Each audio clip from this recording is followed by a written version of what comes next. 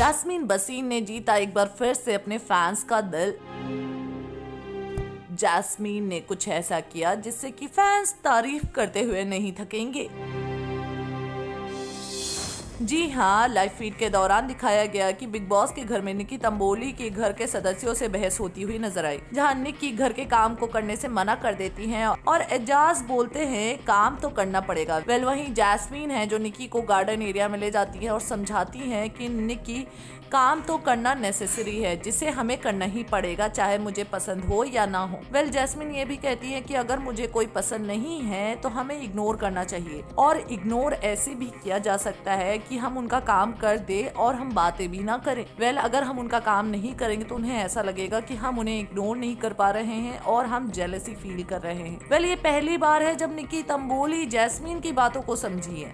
खैर जैस्मीन ने जिस तरह से निकी तंबोली को बातें समझाई हैं उन्होंने एक बार फिर से साबित कर दिया कि वो जैस्मीन बसीन है। जो पहले नज़र आई थी बिग बॉस के घर में क्या है आपको इस पर कहना? आप हमारे कमेंट बॉक्स में ज़रूर बताएँ। टेलीविज़न के लिए अपडेट्स और चटपटी गॉसिप्स को जानने के लिए हमारे चैनल को सब्सक्राइब करना ना भूलें।